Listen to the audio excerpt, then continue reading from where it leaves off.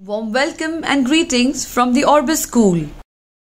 Now we are in our English class and we learn some new words. From the story reader, well done Mr. Scarecrow. And our first word, oh, who's that? Hey Mr. Scarecrow, please give us our first word.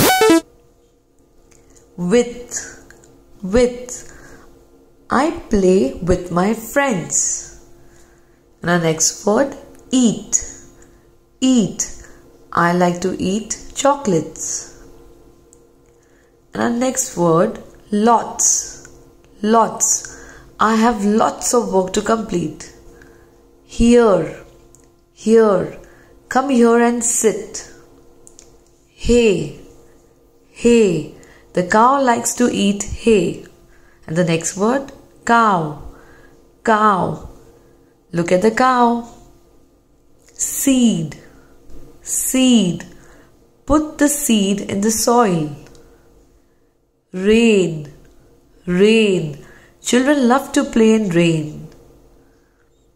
Look. Look.